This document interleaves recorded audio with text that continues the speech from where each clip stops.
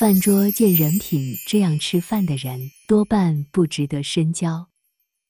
饭桌见人品，这样吃饭的人多半不值得深交。这一观点，通过对饭桌礼仪的文化传承、社交意义以及人品评估的角度展开分析。通过深入挖掘饭桌行为的文化渊源，我们能够更好地理解人们如何通过餐桌举止来传达个体价值观和道德品质。同时，我们还将讨论这一观点在当代社会的适用性，以及在跨文化交往中可能出现的差异。饭桌礼仪的文化传承，饭桌礼仪在各个文化中都有其独特的传承和演变历程。通过对不同文明中的用餐仪式、餐桌行为的比较，我们可以揭示出这些习惯是如何反映了。特定文化对个体道德和社交规范的重视，饭桌礼仪的社交意义。饭桌作为社交场合的重要组成部分，不仅是交流情感的场所，也是展示个体素养和社交技巧的平台。通过深入研究餐桌上的交流方式、待客礼仪以及对食物的态度，我们可以揭示出饭桌行为对。社交关系建立和维护的重要性，饭桌见人品的现实适用性。分析饭桌见人品这一说法在当代社会的适用性。在现代社交网络的影响下，人们是否仍然以传统的饭桌行为来评估他人的品质？同时，我们也将讨论这一观点可能存在的偏见和局限性。跨文化交往中的饭桌礼仪差异。探讨在不同文化背景下饭桌礼仪可能存在的差异。通过案例研究或调查数据，我们可以了解到，在跨文化交往中，人们对于饭桌行为的期望和评价标准可能存在的多样性，从而更好地促进文化之间的理解和尊重。通过对饭桌礼仪的文化传承、社交意义、现实适用性以及跨文化。交往中的差异进行全面分析，我们可以更深刻地理解“饭桌见人品”这一说法。饭桌行为不仅仅是一种习惯，更是一种文化传统和社交技能的体现。在评估他人人品时，我们需要更加开放心态，同时也应该意识到不同文化对于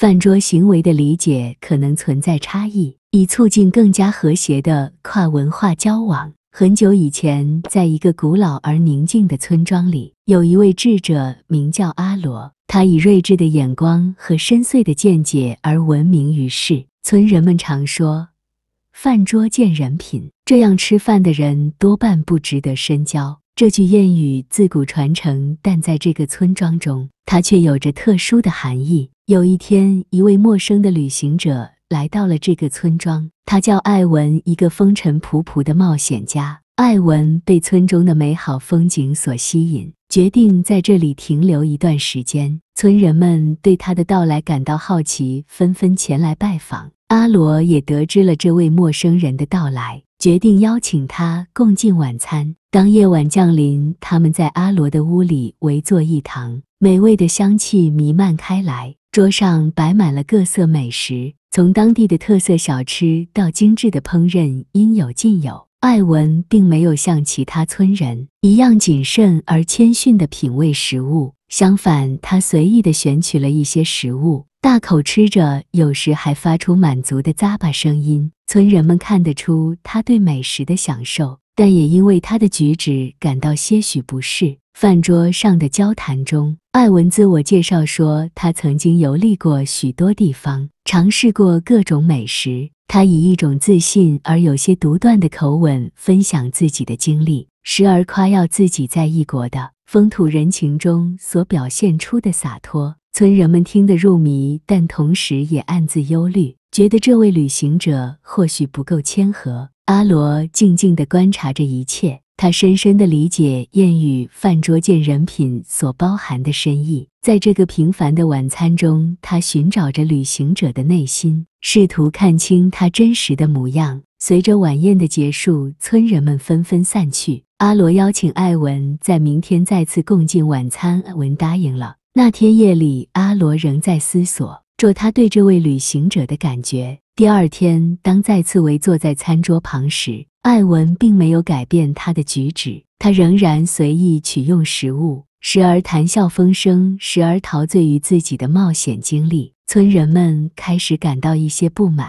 认为他的自我表现过于张扬。然而，在这一切的背后，阿罗却看到了一种深藏在艾文心底的孤独。他的豪放和张扬，并非出于傲慢，而是一种寻找认同的表达。阿罗决定深入了解这位陌生人的故事。通过慢慢的交谈，阿罗逐渐发现了艾文内心深处的渴望。他曾在陌生的土地上历尽艰辛，却寻找不到属于自己的家园。他的豁达和自信，实际上是对生命的一种积极态度，一种在漂泊中仍能保持坚强的心灵。阿罗明白了，有时候饭桌上的行为并不能完全代表一个人的品质。人们各自拥有独特的背景和经历。需要用心去理解，而非轻率的判断。在和艾文的深入交往中，阿罗发现这位冒险家内心的温暖和真诚。最终，阿罗和艾文成了亲密的朋友。在那个古老的村庄里，人们学到了一个深刻的教训：饭桌见人品确实有其道理，但有时也需要给别人一个机会，去发现他们内心深处的价值。每个人都有属于自己的故事。需要用心聆听，才能发现其中的珍贵。